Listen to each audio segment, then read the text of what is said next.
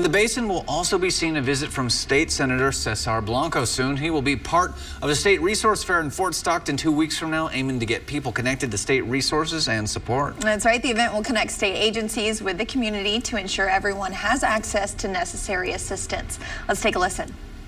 No matter what kind of assistance you're seeking, whether it's related to healthcare, education, business development, or any other state service, this fair is your opportunity to meet with experts who can provide you uh, any kind of assistance that you require. So no registration is needed, just show up. Again, that state resource fair is on Saturday, April 20th from 10 a.m. till 2 p.m. at Fort Stockton High School. It is free to attend.